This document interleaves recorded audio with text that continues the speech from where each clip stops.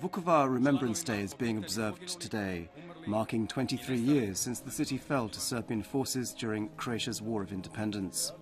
Today's ceremonies in the eastern Croatian city began with a commemorative gathering outside Vukovar's General Hospital, after which a procession of remembrance was held to the Homeland War Victims Memorial Graveyard, where wreaths are being laid and candles lit for all those who lost their lives. The civil initiative opposed to the placement of bilingual signs in Latinic and Cyrillic script outside state institutions in Vukovar began their procession half an hour earlier than the official one. Meanwhile, in the Dalmatian town of Škabrnja, commemorations are also being held in memory of the 43 civilians and 15 defenders who were killed there 23 years ago today. A procession was held from the town's main square to the local graveyard near the chapel of St. Luke.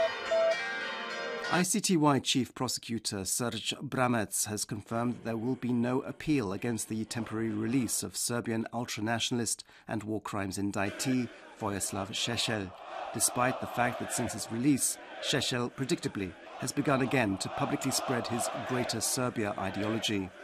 Brammertz has called Šešelj's release an unfortunate consequence of the court process, which had not yet been completed with a verdict.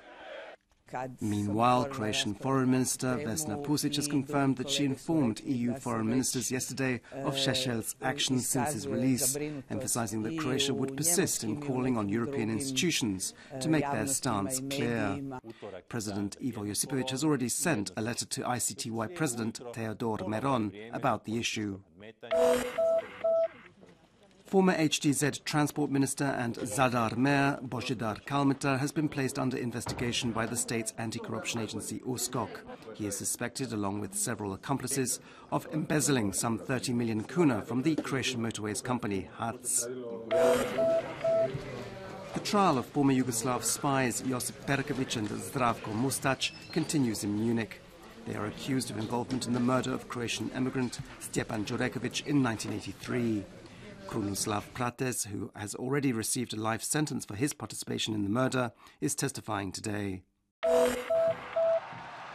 Sport and in the regional ABA Basketball League, Zagreb Cibona lost to crosstown rivals Cedevita 71-69 last night. The outcome wasn't clear until the very end of the game. Roko Leni Ukic was Cedevita's top scorer with 15 points, while Cibona's Damir Markota racked up 14 points. Belgrade's Crvena Zvezda are top of the league with eight wins and no defeats. Cedevita are third with six victories and two losses, while Cibona are ninth. This afternoon's forecast calls for changeable and cloudy weather with sunny periods. Rain is expected from the west during the evening, especially on the northern Adriatic coast.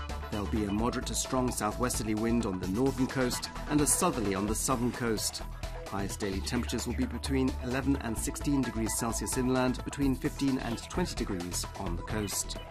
There'll be rain in places tomorrow morning, after which the weather should stabilise. From Thursday onwards, it'll be dry in most regions. There'll be a northerly wind and it'll be colder.